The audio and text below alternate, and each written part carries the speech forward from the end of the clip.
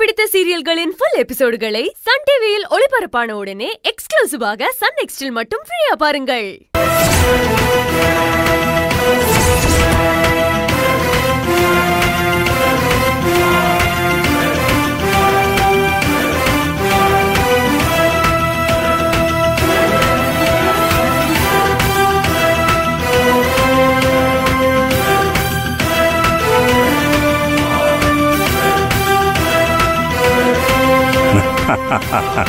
I am proud of you my son வாங்க உள்ள போலாம். ம். வரேன். எல்லாரும் அப்படியே நில்லுங்க.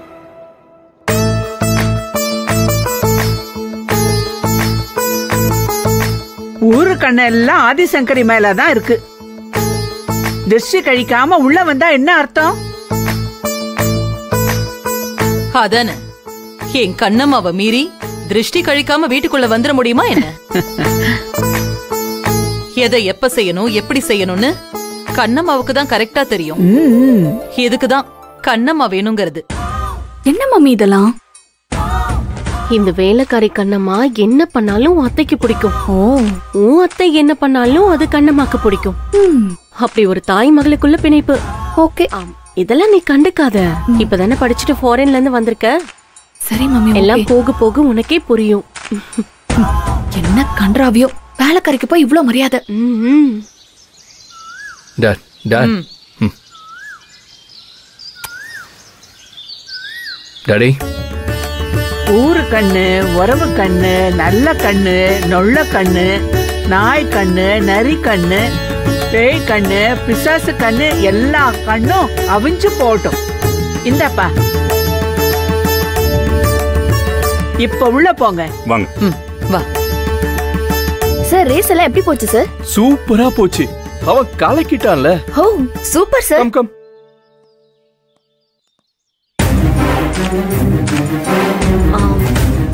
ஏய் என்ன ரேஷ்மா? என்ன? இன்னைக்கு பைக் ரேஸ்ல ஜெயிச்சு வந்த செழியனுக்கு பெரிய சர்ப்ரைஸ் பண்ணி அசத்த போறேன்னு சொன்ன. இப்படி அவனையே பார்த்துட்டு இருந்தா என்ன அர்த்தம்? என்ன பண்ண போற? மம்மி நான் இப்படி நிக்கிறதுக்கான அர்த்தமே இப்போ உனக்கு புரிய போகுது பாரு. என்ன?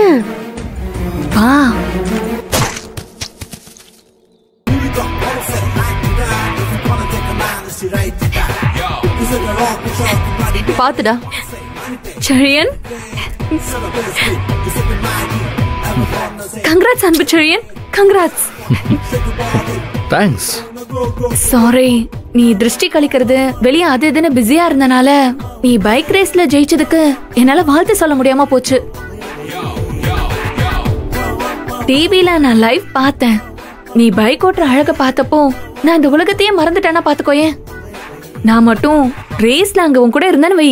நீ ஜெயிச்சுட்டு பைக் விட்டு இறங்கும் போது அப்படியே ஓடி வந்து ஹக் பண்ணி உனக்கு சர்ப்ரைஸா ஒரு முத்தமும் கொடுத்துருப்பேன். நான் அத அங்க மிஸ் பண்ணதுனால நான் உனக்கு இங்க கொடுக்க போறேன்.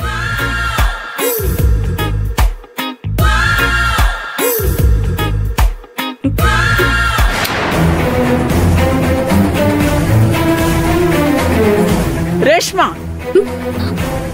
என்ன பெரியவங்க முன்னாடி இப்படி நடந்துக்கிற? இதெல்லாம் தப்பா தெரியல உனக்கு? நீங்க என்ன ரொம்ப ஓவரா சவுண்ட் விடுறீங்க? இதுல என்ன தப்பு இருக்கு? எல்லாத்துலயும் குத்தம் கண்டுபிடிக்காதீங்க. எங்க அத்தை உங்களுக்கு அதிகாரம் தந்திருக்கிறதுனால தேவையில்லாத விஷயத்துல எல்லாம் மூக்க நுழைக்காதீங்க. வேலைக்காரங்க வேலைக்காரங்க மாதிரி நடக்கணும். ஏ ரேஷ்மா.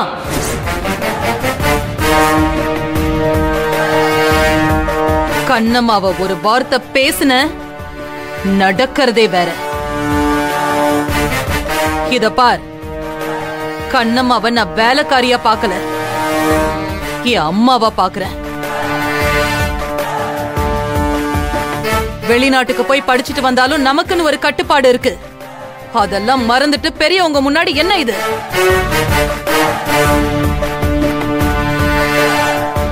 இந்த மாதிரி இன்னொரு முறை என் கண்ணு முன்னாடி நீ நடந்துகிட்ட தொலைச்சிருவேன்.